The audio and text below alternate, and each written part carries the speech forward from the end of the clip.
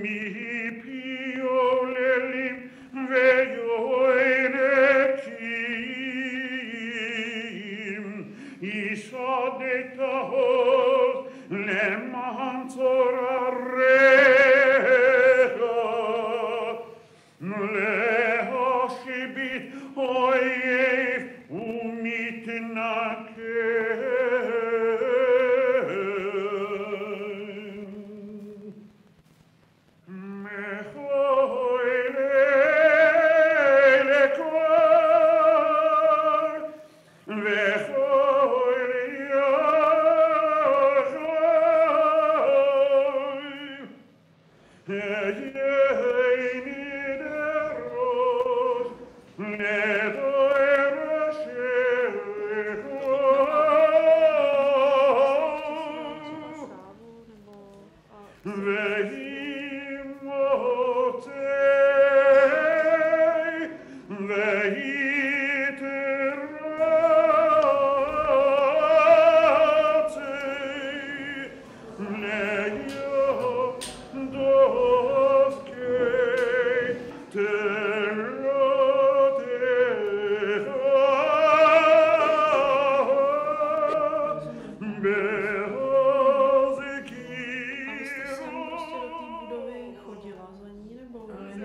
jo, já jsem sem do té školy chodila, No. ale to taky nemůžu pamatovat, protože totiž máma vyučovala tenkrát, to bylo v roce 1937, že jo.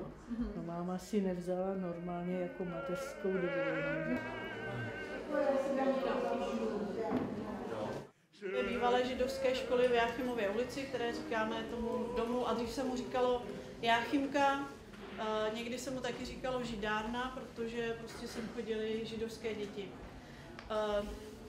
Ten příležitost, proč jste dneska přišli, vlastně první takový krok k tomu, abychom tento dům nějakým způsobem oživili a zaprvé připomněli jeho bohatou historii, ve které se teďka uvidíte vlastně v první etapě scháníme dokumenty a snažíme se ji zmapovat.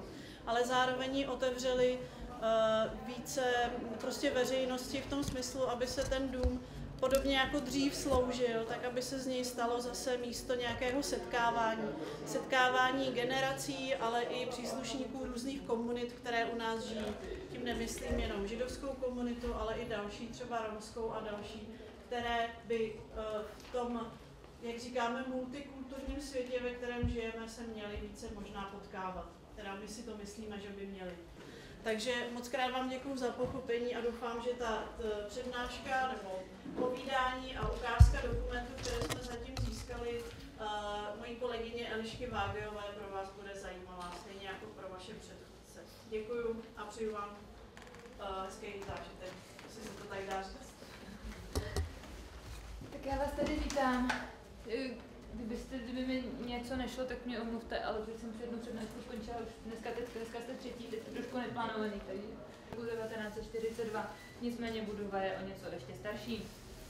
No, jak jistě víte, nacházíme se na území bývalého pražského židovského geta, které, bylo, které padlo za oběť pražské asanace za začátku 20. století, kdy se Praha chce stát moderním eh, velkoměstem. Jachimova ulice však tady byla a zůstala. Pohybujeme se v tom eh, asanačním obvodu 30, což byl ten první, který vlastně celá asanace začala.